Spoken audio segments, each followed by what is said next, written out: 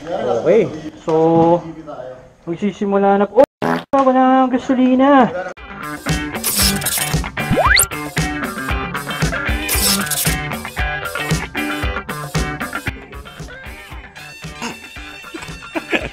Hello po sa inyong lahat. This is DMRPH and welcome to my diary. The Diary of a Motorcycle Rider Philippines. And today, guess nyo kung nasan ako. I am here in BRC. Ano kayong ginagawa ko dito, no? Well, tama rin po yung hula nyo. Tayo po ay mag-track day today with my friends. Ayan po silang lahat. Yung mga pogi, mo, PH! pogi na aking mga kaibigan. Yun po si Revit Smith. Yes. Hello! Sundan niyo po yung kanyang channel. Thank you. All good content. Yep. Yun po si uh, Keith San Diego. JM in the fast lane. Yeah. JM Estrada. Yes, over there. So, at po yung kanilang... Uh, Pwede ba tayo dual vlogs? Hello! Ayun. So, ito po yung kanilang rides. Papakita ko po sa inyo. Ooh. Yamaha X-Max. Wow! Pogi. Kami? And ito po yung aking ah, walang kwentang R3. So, na natin uh, tingnan nyo. Honda PCX. Siyempre. And one of my favorites, Yamaha NMAX. So, iniisip nyo, hindi po sila pwede sa racetrack. Pero, anything's possible kung magagaling po yung ah, riders. No? Uh, later on, I'll bring you guys inside the racetrack and I'm gonna show you kung ano yung uh, paano umikot, paano yung racing line, paano yung ah, ginagawa ng usual ng racetrack. We, di nga. So, dyan lang po kayo and stay tuned.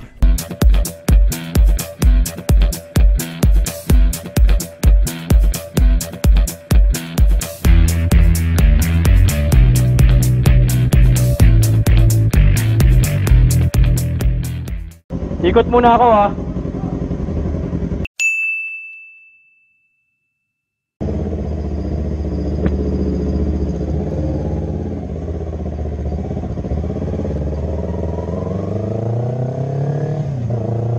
Yeah, so uh, ito po yung uh, BRC no, as you can see right now.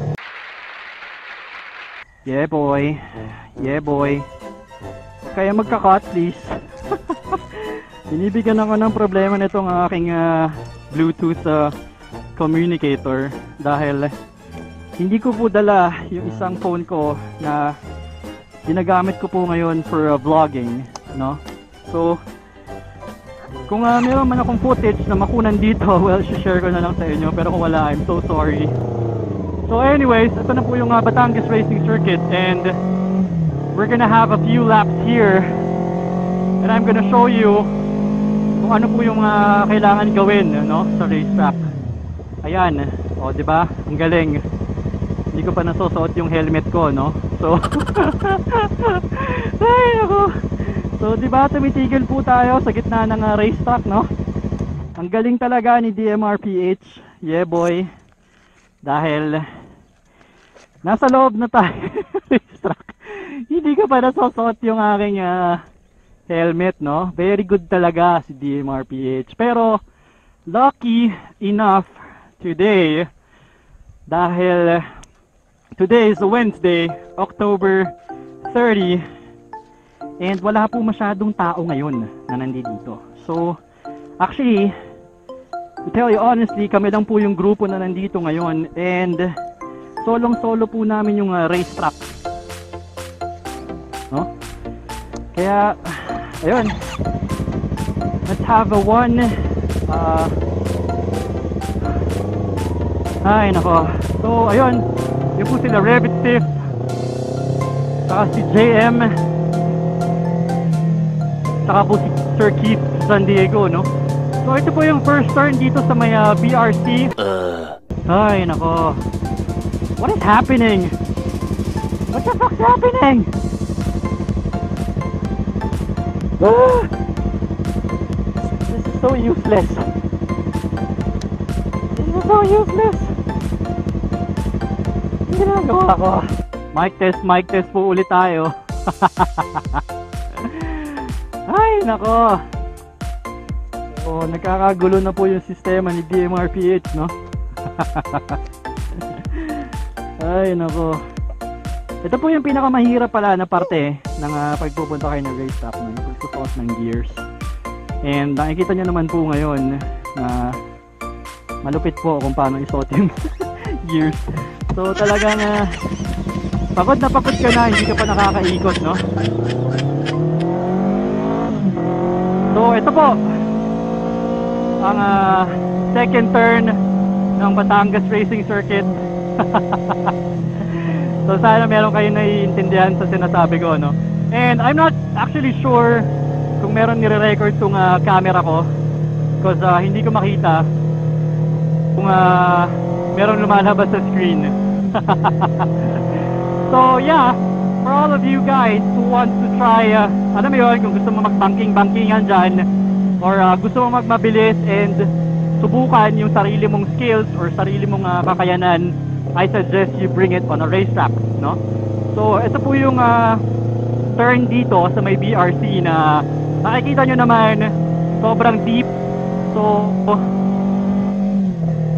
yeah, medyo kailangan po dito ang ah, hindi naman hindi ko naman sinabing ah, malalakas na motor or magandang ah, magandang motor but yeah, pinakamaganda po dito suspension and your tires, no?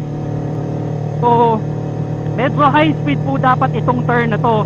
Pero as you can see now, ako lang mag-isa dito and yung mga kaibigan natin nandun sila sa labas na, no? Kaya pwede tayong bumagal. And mamaya po papakita ko po sa inyo kung ano ang ah, ano ang fast uh, anong tawag dito? Kung ano yung fast uh, pace or fast na approach kung anong dapat yung gawin kapag ka kayo ay magbabangking-bangkingan dito, no? And also, mamaya-maya pong konti, ituturo ko po sa inyo kung ano ang ah, counter steering, no? Ah, counter steering po is useful hindi lang po sa racetrack, hindi lang po sa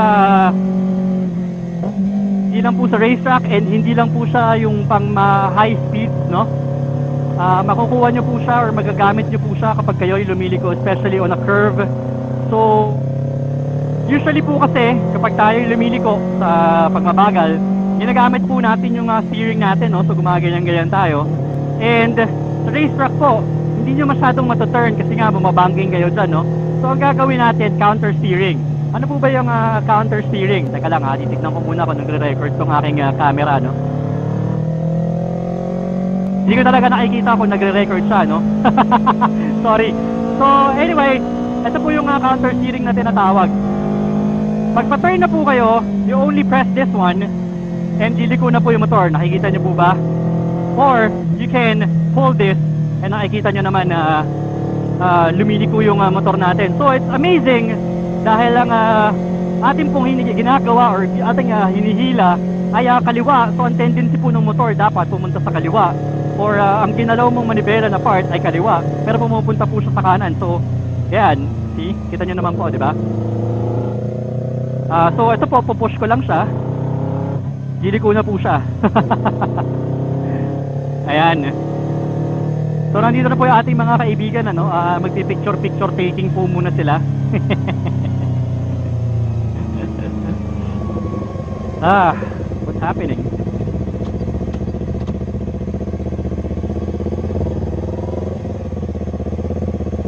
Yon, dito ako sa port. 1, 2, 3. Nandito po tayo ngayon sa port. Nagre-record ba? Nagre-record? Okay. Okay, okay. Okay lang. Hi! Hello! Sensahan nyo na po yung ko. Tara! Tara! So, yeah, um, Anyway, ang basics po ng counter steering is, for example, tumatakbo kayo ng 60 or 80 kilometers and pinindot nyo po itong uh, right or yung uh, left na manibela nyo, the tendency of the motorcycle, if you press here, it will dive on the right. Or if you press here, it will, it will dive on the left side, no? And counter steering also applies if gusto nyong kumaliwa, ito po yung hihilahin nyo, no? So, ang tendency pag hinila ko to at a short speed or uh, slow speed, tendency na nakikita nyo naman po yung steering ko kumakanan. Pero, counter steering applies also to, di ba? Teka lang, pause muna tayo dito. Yun! so pag hinila ko po ito at ah, fast speed, ang tendency po ng ating motor ay humiga sa kaliwa. Yeah. So paano po 'yon? Papakita ko po sa inyo kapag tayo ay umandar na, no?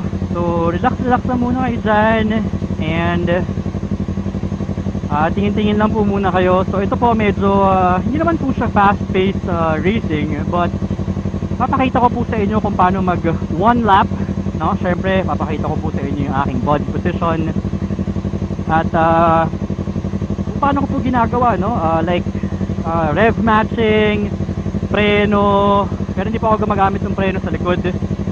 So, ah, tapos kung ano po mga ginagawa ko usually, no? So, yeah, para maganda.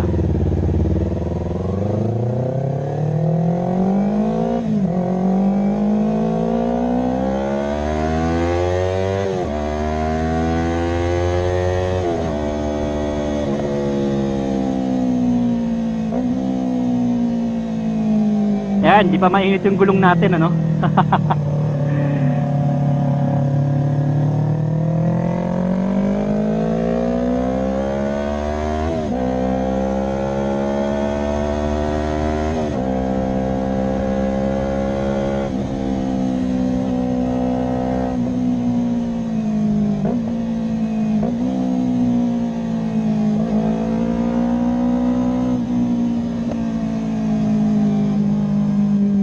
masyado mainit yung gulong natin, so hindi pa tayo pwede makapush.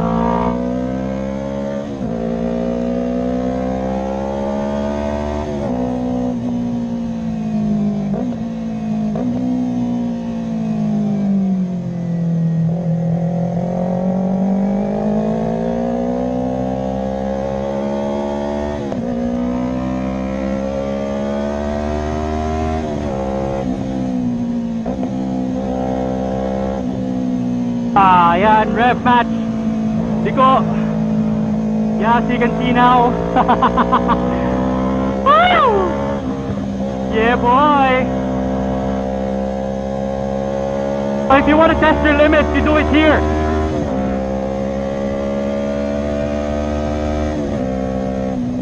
Oh shit, motherfucking bird! Oh shit! Woo!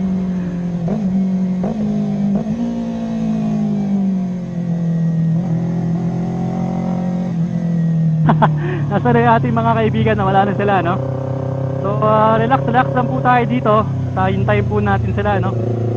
So, yun po yung ginagawa usually sa racetrack. Well, you can test your skills here and syempre, susubukan nyo talaga yung limits ng inyong motor, yung limits ng inyong katawan, and yung limit ah, ng everything, no? So, when you're in a racetrack, wala pa kayong iniisip, wala kayong kasalubong, walang aksidenteng mangyayari. So, yan, simple counter steering, lumiliko na po yung motor. I'm pulling it to turn left, I'm pushing it down to turn right. So how does it apply? I'm gonna push this and it'll turn right instantly, no? so, ayun po yung sinasabing uh, counter steering. Counter steer.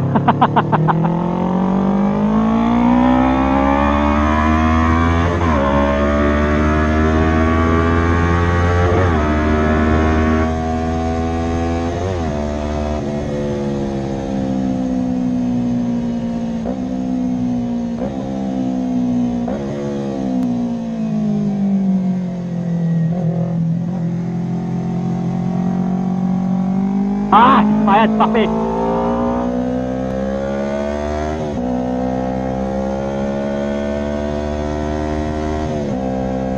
Ito po usually yung ah, ito po yung mga nakikita nyo sa racetrack. Ay! Ang sarap talaga, no? So, dito, wala kayong kalaban. Wala kayong kalaban, wala kayong ah, iniisip na mangyayaring masama sa inyo. And, ah, except, syempre, pag na-aksidente kayo, syempre, meron pa rin ah, problema yan, ano? Depende sa pag hinagis nyo na, pag tinapon nyo, ano? Pero, the safest way uh, to try and uh, reach your limits is inside the racetrack. Yeah, boy. So, hintayin lang po natin sila because uh, kinukuran po natin sila ngayon sa likod. And ipapakita ko na lang po sa inyo yung footage kung meron po tayo makukunan, ano? Yun oh, may ibon. First time ko lang nakakita ganyan sa BRC dahil hindi tayo masyadong ah, maingay ngayon kaya marami pong lumalabas na mga birds.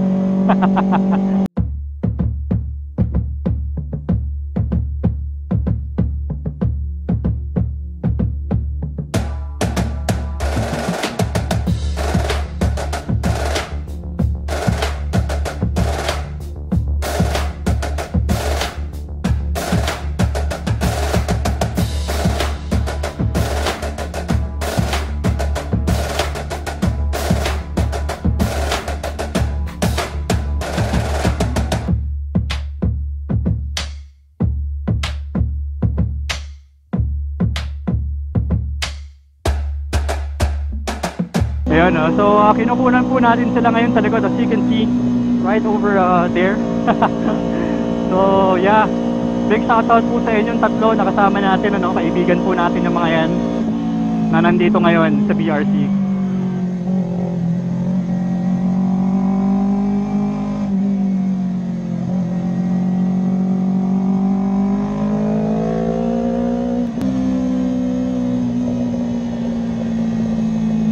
Ayan. So, yeah, nakikita nyo po ngayon dito. It's so, it's, it's so uh, amazing. It's so quiet dahil kami lang po yung naglalaro.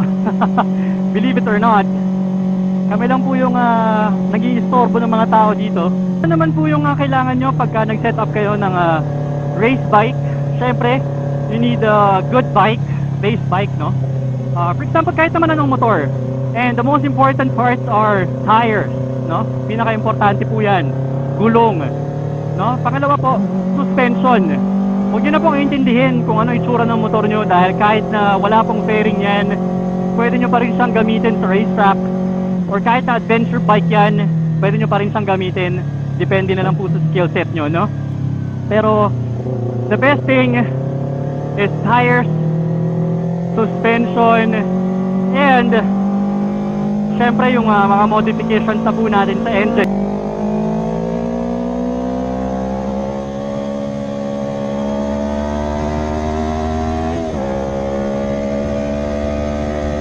Pero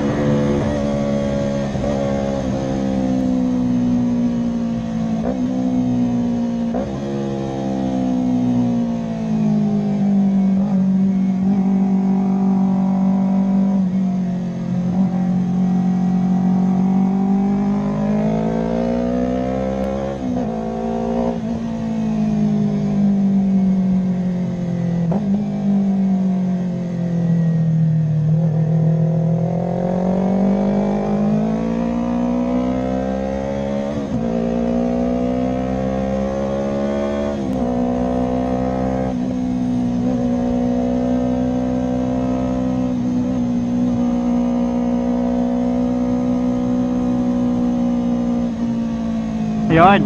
So, uh, papasok na po muna ako. And I will change back to my uh, track helmet dahil yun na lang po yung gagamitin ko. So, that's it for today, no?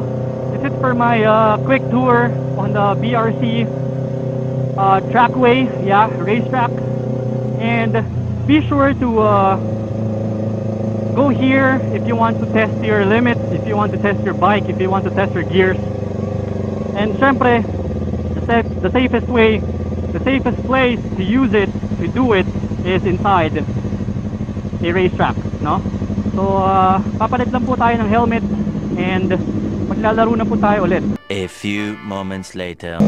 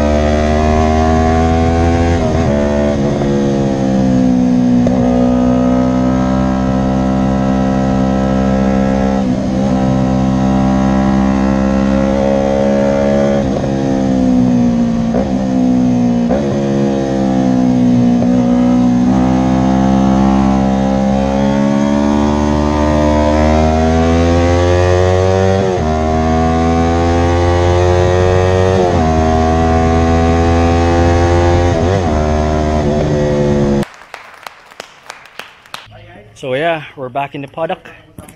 And uh, yun na po. Magtitripan na po nila yung uh, Yamaha R3 ko.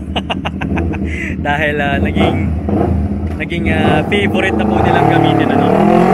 At uh, napakaganda. Woo! So yun po si Rabbit Stiff and uh, si Sir JM. And medyo tatapusin ko na po para hindi na tayo matagal pa masyado yung panonood niya. But don't forget to subscribe and notify yourselves for future videos. And this is DMRPH. Again, maraming salamat po for tuning in my diary, the diary of a motorcycle rider Philippines. I hope you enjoyed this episode, no? So I'll see you guys in the next vlog. Bye.